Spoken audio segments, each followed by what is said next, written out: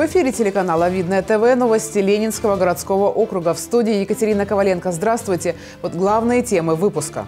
Не бывала снежная зима в Подмосковье. Справляются ли коммунальщики с таким количеством осадков? Внизу находится лед, сверху слякоть. Никакого пешеходного перехода просто конкретно не видно.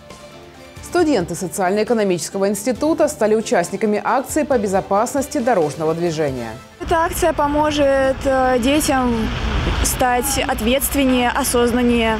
Второй этап чемпионата округа по гонкам на выживание прошел на трассе «Казачий дозор» в Горках. Сегодняшним мероприятием мы открываем э, марафон двухнедельный, который мы будем в том числе освещать в СМИ. Как отмечают синоптики, в Подмосковье установлен новый рекорд этой зимы. Высота снежного покрова достигает 45 сантиметров. Коммунальщики с трудом справляются с таким количеством снега. К нам в редакцию обратились жители одного из домов жилого комплекса «Государев дом» с жалобой, что у них во дворе сложилась критическая ситуация. Наша съемочная группа выехала по адресу.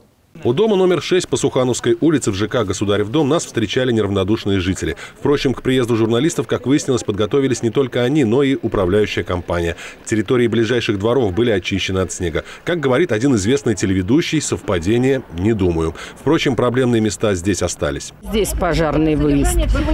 Э, там даже большие машины приезжают, ну как котлы обслуживают, чем там соль везут или что. Они буксуют, они не могут проехать. Стоянка и вот эта дорога между котель отдельной стоянкой, это его. По кадастровому номеру. Представительница управляющей компании, которая пришла на встречу жителей, постаралась максимально полно ответить на все вопросы. Тем более, что, по мнению граждан, не везде в микрорайоне царит такая образцовая чистота. Ольга Шайкина – мама двоих детей. Старший учится в школе, говорит, подход к учебному заведению – настоящая проблема. Мой ребенок, ходя в школу, просто туда не может пройти. Все очень нечищено, а там просто по колено. Внизу находится лед, сверху слякоть. Никакого пешеходного перехода просто конкретно не видно. Когда они подходят к школе, там такая же невероятная ситуация. А вот это уже вряд ли можно назвать совпадением, потому что мы не поленились и отправились посмотреть ситуацию вокруг школы. Справедливости ради стоит отметить, здесь вовсю работали дворники. Впрочем, сказать, что в этой части жилого комплекса идеальная чистота было бы лукавством. По мнению представителей управляющей компании, Всему виной аномальные снегопады. В этом году они побили рекорд 1973 года. Это больше ручной работы, больше техники нужно. А, плюс у нас, к сожалению, сейчас такой климат, что у нас то в плюс, то в минус. Из-за этого обледенение. Ну, а когда лед на а, асфальте, соответственно, его уже нужно, на него потратишь на уборку там не 10 минут, а ну, там часа полтора. На территории ЖК расположено 50 домов и 36 придомовых территорий. За порядком на них присматривают 50 дворников. Кроме того, на улицах микрорайона работает 6 единиц техники. Но пока вряд ли можно сказать, что они справляются с последствиями снегопадов. Особенно нелегко в такой ситуации людям с ограниченными возможностями здоровья. У меня ребенок инвалид, и мы с ней ну, тяжело очень ходить по дорогам, но все равно как-то мы с ней, ну, все равно гуляем. Тропинки, конечно, бывает, что очень узко чистят, но узко, как бы, но все равно. А машина ставит уже, потому что ставят и на тротуар тоже не пройти. Действительно, еще одна проблема, о которой говорили коммунальщики – припаркованный транспорт. Мы также заехали в один из дворов. Если пешеходные дорожки почищены, то на проезжей части снежная каша. На призывы и объявления коммунальщиков убрать транспорт на время работы уборочной техники автолюбители реагируют слабо, хотя есть и исключения. Есть дворы, которые очень активны, очень ну как, они нам помогают даже. Выходят и сами разгоняют машины, и дворникам помогают. Таким людям мы очень благодарны, потому что ну, мы все работаем для нас же, да, чтобы нам было комфортно и приятно жить. Представительница управляющей компании заверила нас и местных жителей, что последствия снегопадов будут ликвидированы в кратчайшее время, а мы будем следить за ситуацией. Максим Козлов, Александр Логинов, Екатерина Давлятова. Видно этого. Ежегодно 24 января во всем мире отмечается День образования.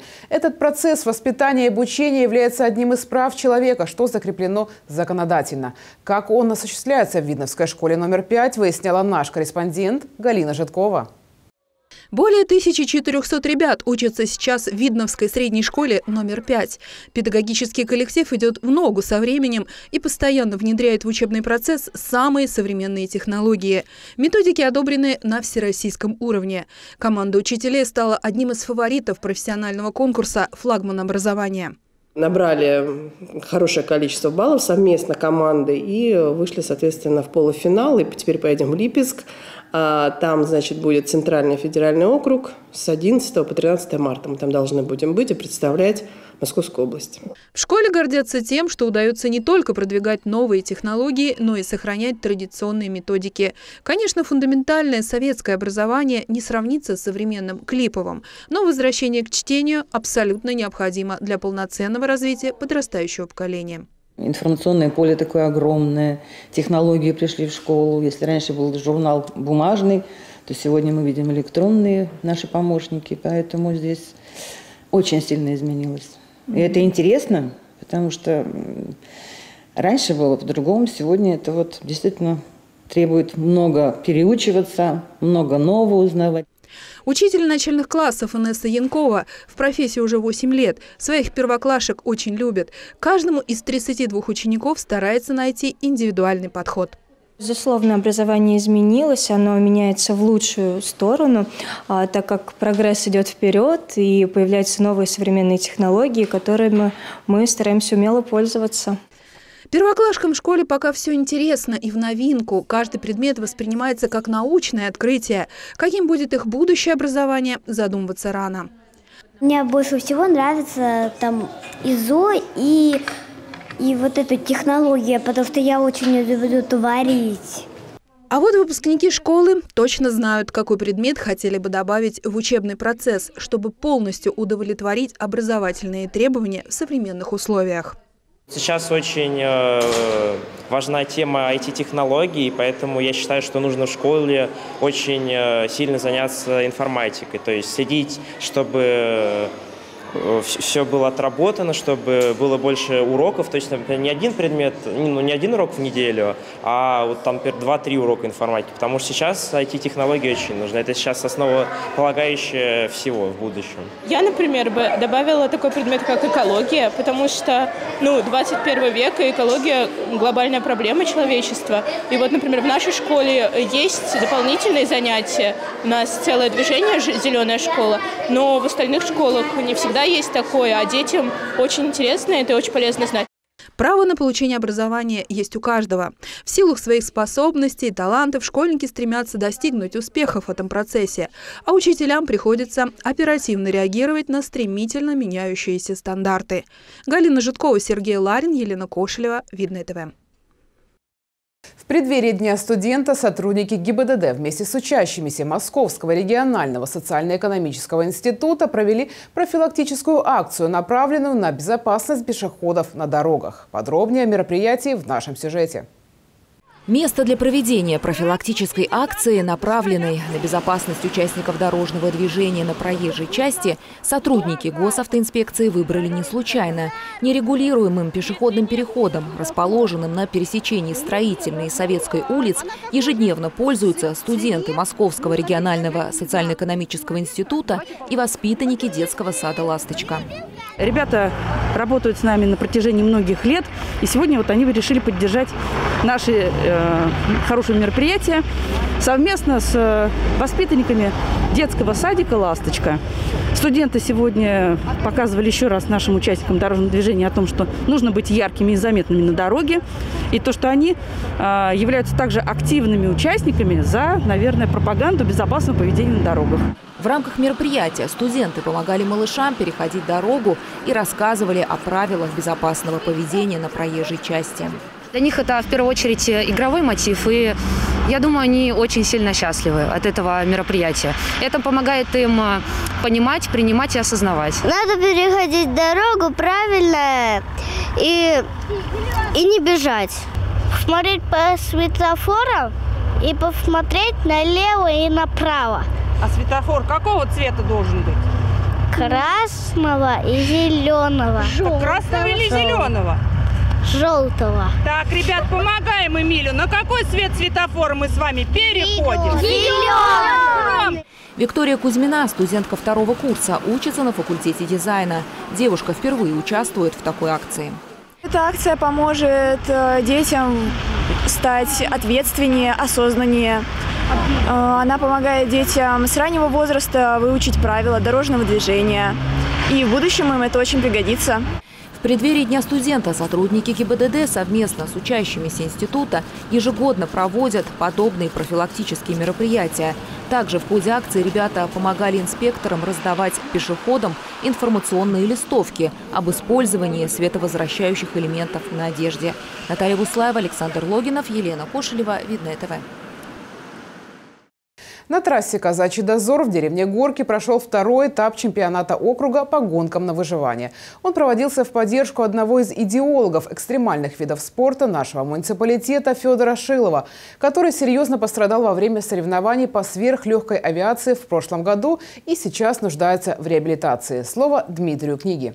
Второй этап чемпионата Ленинского городского округа по гонкам на выживание проводился в поддержку нашего земляка, одного из основателей этого вида спорта в муниципалитете, каскадера Федора Шилова. Сегодняшним мероприятием мы открываем э, марафон двухнедельный, который мы будем в том числе освещать в СМИ, привлекать э, наших друзей, товарищей э, и к сбору непосредственно средств на реабилитацию Федора Ивановича. Поэтому э, от всей души, конечно, хочется ему пожелать э, крепости духа и, э, конечно, выздороветь поскорее. Федор Шилов получил серьезные травмы при жесткой посадке на паралете во время соревнований по сверхлегкой авиации в конце июля прошлого года. Сейчас он находится дома в тяжелом состоянии. Мне очень грустно то, что я сегодня не еду сам, не выступаю. Да, показал бы школу отца, так как он знаменитый очень тренер, очень много народу воспитал, малышей, то есть поднял. Кто-то уже и чемпионы, уже и мастера спорта. Федор Шилов привлек не только своего сына Романа к занятиям экстремальными видами спорта. Именно он заразил многих нынешних участников гонок на выживание любовью к скорости и адреналину. Федор Иванович э, был один из тех как раз людей, который э, дал мне познать азы э, гонок, потому что когда, как я уже сказал, в 2019 году я впервые сел, впервые, кстати, не занимался никогда, впервые сел за руль автомобиля, именно он был один из тех людей, которые подсказали, как входить в поворот, как выходить, какие-то особенности, какие-то хитрости. Многие из гонщиков и гостей соревнований лично знакомы с Федором Шиловым. Они выражали ему поддержку и желали скорейшего восстановления. Я хочу выразить признательность тем людям, которые действительно э, помнят, уважают Федора Ивановича, который здесь много гонял в свое время. Но теперь он оказался в тяжелой, э, таком тяжелом положении по здоровью. И э, чтобы его поддержать, э, вот этот этап проводится. Мероприятие посетил заместитель председателя Комитета Государственной Думы по физической культуре и спорту Амир Хамитов. Популяризировать надо ли популяризировать любой вид спорта. Спорт все равно объединяет народ. И смотрите, сколько народу приехало сегодня. Участникам предстояло совершить три отборочных заезда, по результатам которых они набирали зачетные баллы. Сильнейшие из 12 гонщиков, вышедших на старт, попали в финал, а далее начинался гоночный плей-офф. В этот раз дебютантом соревнований стал Сергей Дешкин, начальник отдела надзорной деятельности и профилактической работы муниципалитета. Коллеги, друзья э, втянули в это потихоньку и очень понравилось. Ну, с автомобилями всегда дружил, дружу. Ну, надеюсь, в дальнейшем буду дружить, буду усовершенствоваться, навыки приобретать. Такое захватывающее спортивное шоу, как гонки на выживание, неизменно собирает большое количество зрителей. Вот хорошо, да, правда, очень кайфово. Я надеюсь, что это будет все продолжаться и дальше.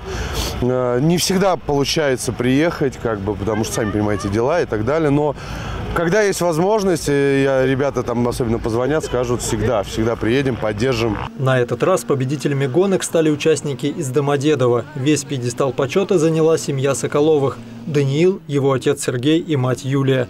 Дмитрий Книга, Александр Логинов, Екатерина Давлятова, Видное ТВ. И это все новости на сегодня. С вами была Екатерина Коваленко. До новых встреч!